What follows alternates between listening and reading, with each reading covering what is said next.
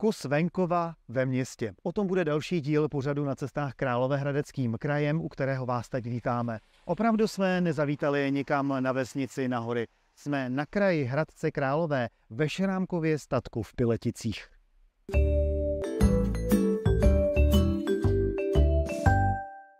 Na okraji Hradce Králové byl jednou jeden statek. Šrámkův statek. A stojí tam dodnes a tam se dnes můžete vydat třeba na folklorní slavnosti, jarmarky a trhy výrobků lidové tvorby a uměleckých řemesel, také na festivaly, výstavy a další společenské a kulturní akce. Zveme vás do skanzenu v Pileticích. Když tady máme některé ty akce, tak vlastně tady máme třeba i různé spolky, například členky spolku lidové tvorby Hradec Krále tady předvádějí eh, různé rykodělné techniky, jak se vyráběly eh, různé předměty, jak třeba pletení, háčkování, síťování a podobně. Takže s tím se mohou i ty návštěvníci seznámit, vyzkoušet si to. Šrámkův statek je památkově chráněným objektem se vzácnými dřevěnými objekty. Jde o areál původní lidové architektury. Své jméno získal po prvním majiteli tohoto rozsáhlého stavení. Součástí Šrámkova statku v Hradci Králové Pileticích je například dvoupodlažní objekt určený pro obydlí, třeba i tato pavlač, po které se právě teď eh, procházíme, ale také stodola pro hospodářská zvířata, velký dvůr, zahrada s pódiem, dětské hřiště, ale také hospůdka. Pavlač pochází z roku 1802 a stodola byla postavená v roce 1814. A za prohlédnutí stojí i Královéhradecký kroj,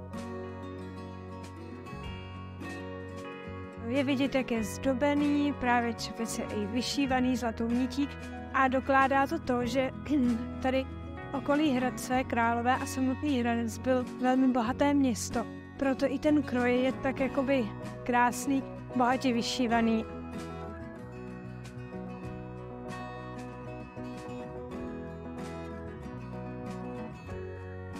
Kromě pravidelných kulturních akcí během celého roku má Šrámkův statek v Královéhradeckých Pileticích otevřeno během července a srpna vždy v pátek, sobotu a neděli mezi 15. a 19. hodinou. Do Šrámkova statku vás doveze autobus číslo 13 městské hromadné dopravy na zastávku Piletice a dovnitř vstoupíte zděnou kamennou trojosou bránou ze začátku 19. století.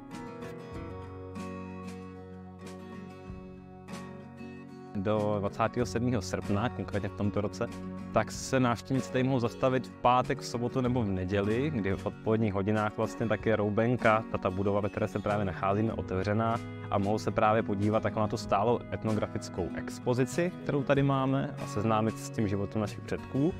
A dále tady potom v létě eh, probíhají pravidelně každý pátek eh, koncerty různých folkových, country, trampských kapel a potom 18. srpnem, kdy tady skončí vlastně poslední kapela tento cyklu a to bude eh, Honza Broš a Devítka.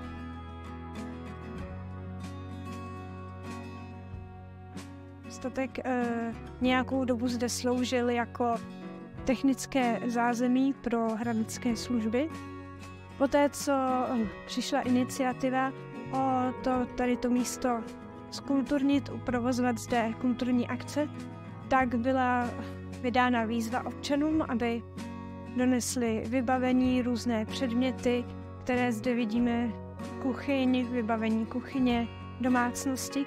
Takže hm, v podstatě všechny exponáty, které zde vidíme, tak jsou místní, ale nejsou z tohoto statku.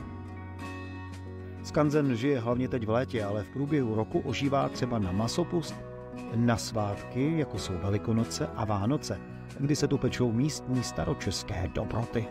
Součástí areálu jsou i výstavní prostory a pobočka městské knihovny v Hradci Králové.